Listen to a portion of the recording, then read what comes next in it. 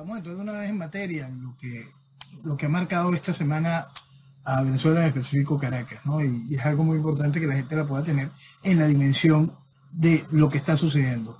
Esta, esta lluvia de balas que ha vivido Caracas esta semana, vamos a intentar organizarla como una línea de lo que es el producto de la revolución, el legado de Chávez y hacia dónde busca la revolución que esta situación avance.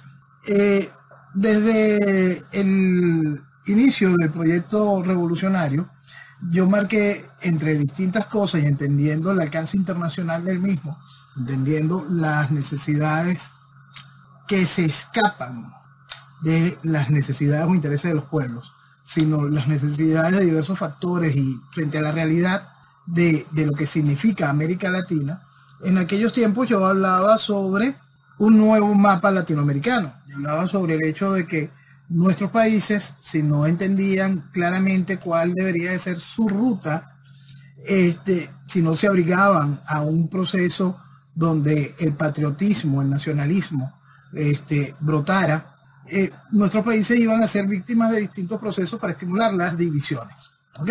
Vamos a poner eso allí. Y eso era lo que yo conversaba en aquel tiempo, que era el nuevo mapa latinoamericano.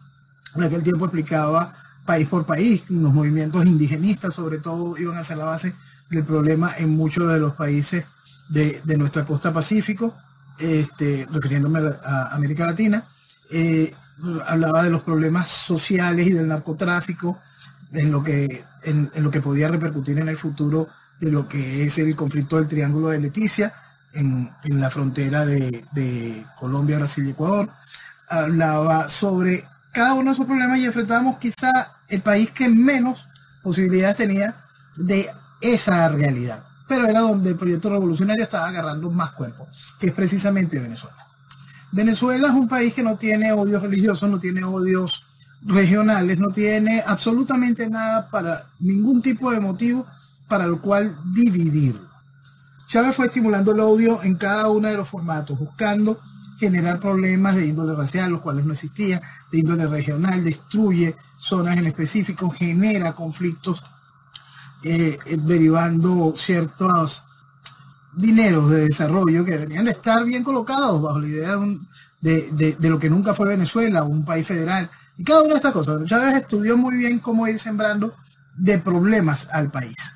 Y estimuló, por supuesto, la presencia guerrillera para traer más problemas con lo que era Colombia. Se dio ante Fidel, ante las necesidades de Fidel y las órdenes de Fidel con respecto a la situación venezolana con el Esequibo. Este, por más que aquí se quiera tener algún tipo de discusión en ese esquema, hay que recordar que Chávez fue bien claro, reconociendo cualquier cantidad de barbaridades y pretensiones de Guyana con respecto al Esequibo. Entonces, al territorio Esequibo. Eso sin contar la entrega de la soberanía en todo sentido a Cuba, entrega de soberanía física a China y Rusia. Pero vamos al, al, concepto de nuevo de cómo encaja eso en la violencia que ha vivido Venezuela esta semana. Cada vez que yo paso a explicar qué sería de Venezuela en el futuro si la revolución permanece, siempre explico que nunca se mire a Cuba como el norte donde la revolución busca llevarnos.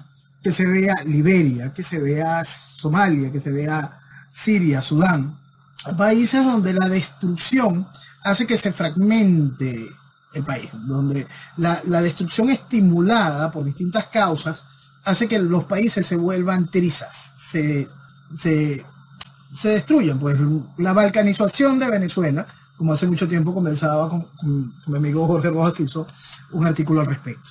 Entonces, eso es lo que va buscando el proceso revolucionario en Venezuela. Cuando nosotros decimos que el país no ejerce soberanía, por supuesto no la ejerce en Apure, no la ejerce en gran parte del Estado Bolívar, no la está ejerciendo en nuestra isla de Margarita, en Caracas no la ejerce.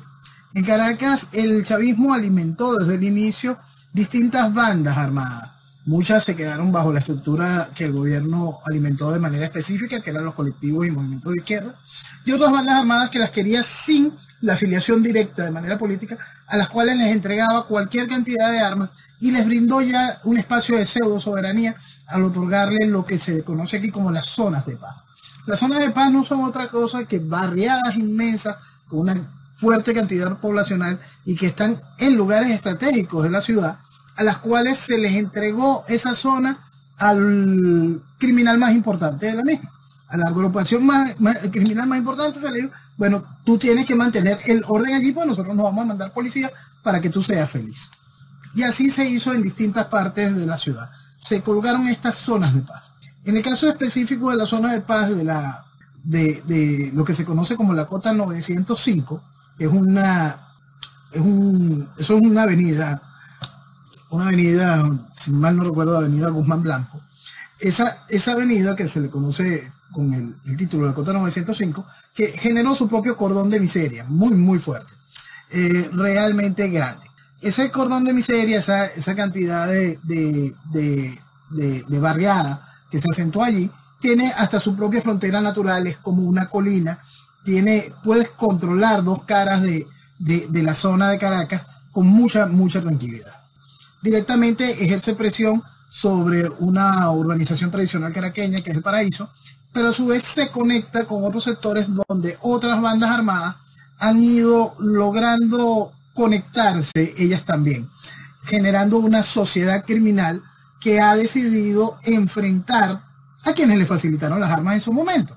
Entonces, durante distintas etapas en estos últimos años hemos visto cómo esas bandas armadas han ido avanzando en su control y en cómo van sometiendo con violencia hasta los organismos de seguridad del Estado. Son regulares los enfrentamientos entre los organismos de seguridad y este tipo de bandas. Hemos visto espectáculos bochornosos como cuando atacan a lo que era la policía científica del país, algunos de estos agrupaciones armadas, la policía científica del país decide ir a arremeter y buscar a los que ocasionaron ese ataque, ese ataque inicial, y cuando están sometiendo a la banda armada, reciben una orden del gobierno, retírense. Retírense, respeten la zona de paz. Entonces ese refugio, donde la policía y el Estado no ejerce soberanía, decidió, en compás de ciertas necesidades con la revolución, dar un avance a un proceso mucho más violento.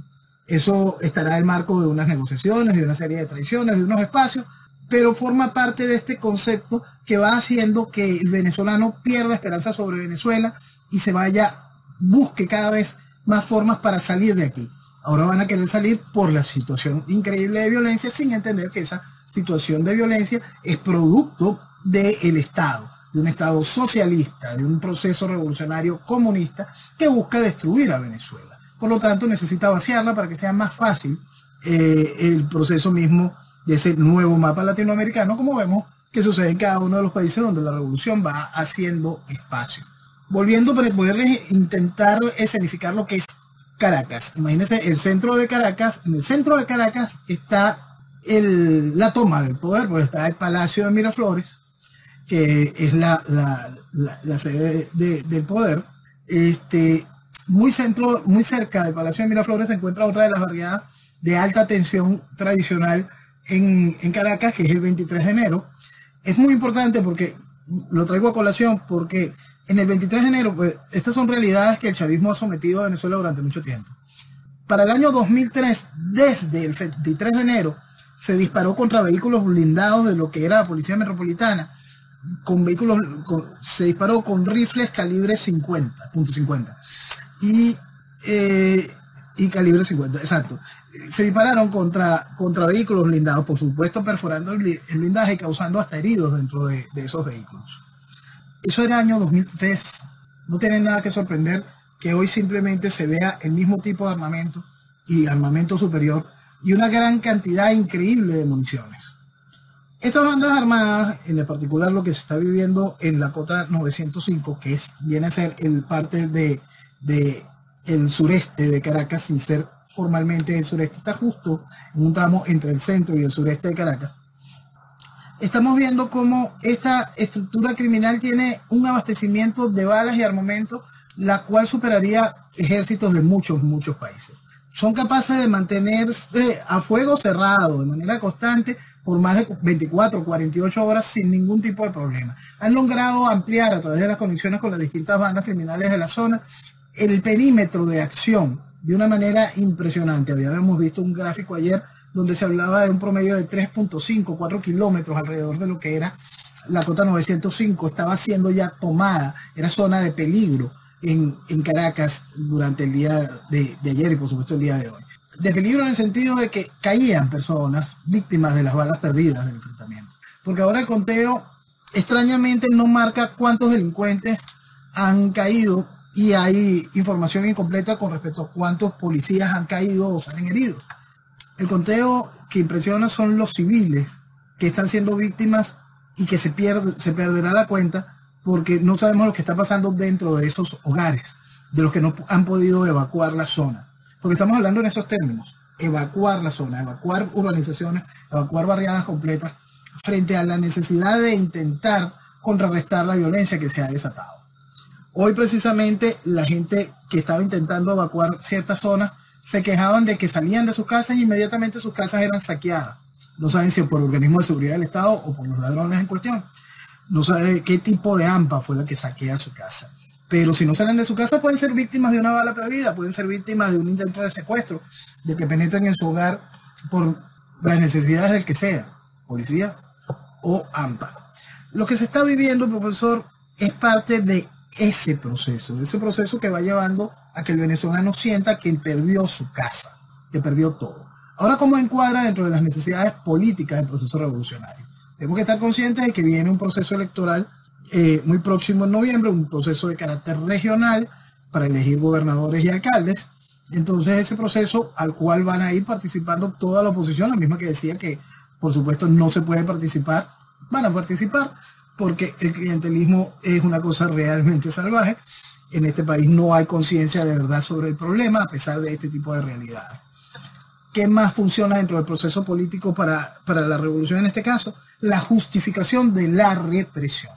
Vamos a ver cómo el, el gobierno decide avanzar de manera fuerte contra esas bandas y en ese avanzar va comprobando lealtades, lealtades tanto de las unidades policiales como de las unidades militares como de las bandas y los colectivos que ellos mismos han ido armando. Ver cómo responden, si se nuclea, si trabajan en pro de alguna de ellas, si salen en defensa de, si alguno de los organismos no atiende a la orden exacta que va siendo emanada desde las estructuras del gobierno. Cada una de esas cosas es una contabilidad que el gobierno va a ir llevando de manera precisa para poder saber, ya comprobado y aceptada la represión, cómo irla aplicando en el mañana.